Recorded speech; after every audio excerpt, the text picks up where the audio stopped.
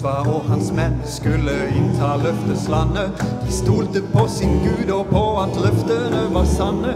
De tørre tidene var snart historie. Herrens plan var klar, den var klar og den var enkel. Om Josva fulgte planen, skulle Herren seier skjenke. Gå inn og gjør krav på det land.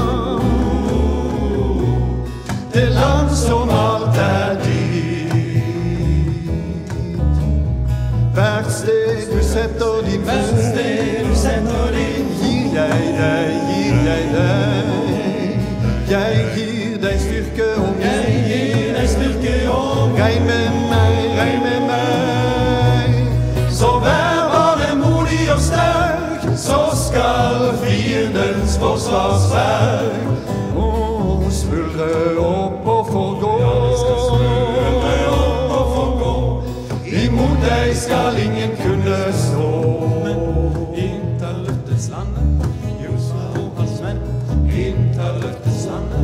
Jordan måtte krysses for å komme inn i landet. Da prestene gikk foran, se da stanset Herren vannet.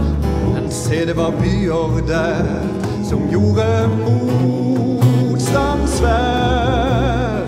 Først så var det Jeriko med murene så høye. Og deretter kom Ai, som de ikke tok så nøye.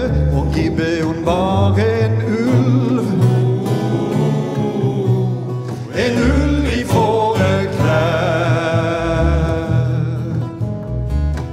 Verden er som Jeriko, den ligger i det onde. Den reiser seg i stolthet, og den spotter med sin tunge. Men murene falt ved tro, ja, ved tro falt Jeriko. Og dette er den seier som har seiret over verden. Ja, dette er den seier som har seiret over verden. Det er vår tro på Guds ord. Ja, det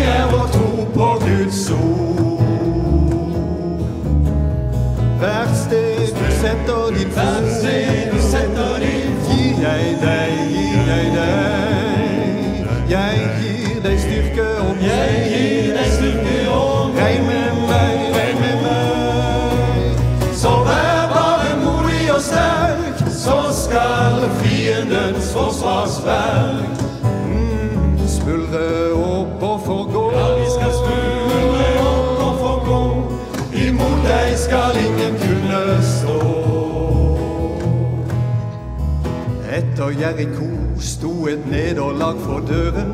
Da Gibeon med løgn og falske klær ville forføre. Han inngikk et samarbeid med sin fiende.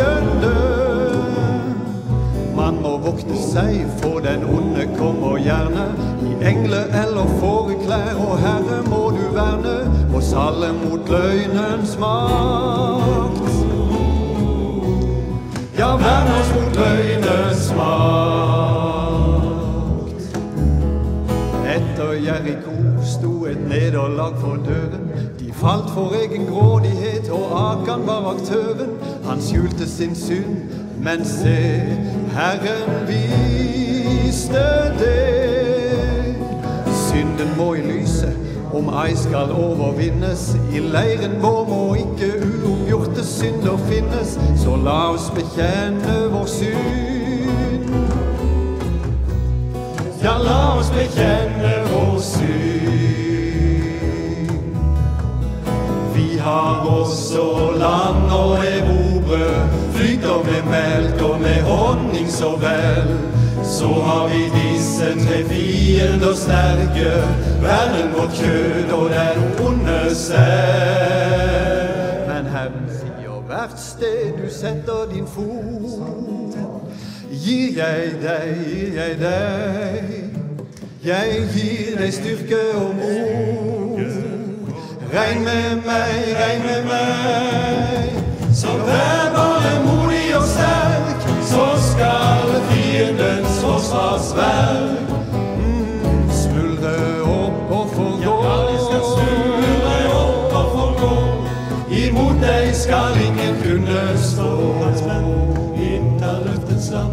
stå. Innta løftets landet, Josva og hans menn.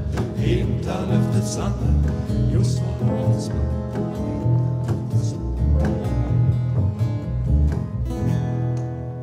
Ja da.